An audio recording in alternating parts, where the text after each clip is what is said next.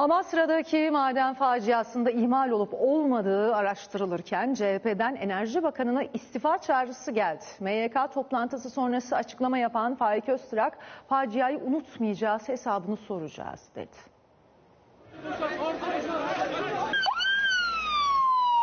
Bu korkunç bir cinayettir ve biz Cumhuriyet Halk Partisi olarak sorumluların peşini bırakmayacağız. Maden faciası CHP MYK toplantısında öncelikli gündemiydi. Sözcü Faik Öztrak iktidarı eleştirdi. E, eksiği riski giderseydiniz ya, elinizi tutan mı vardı?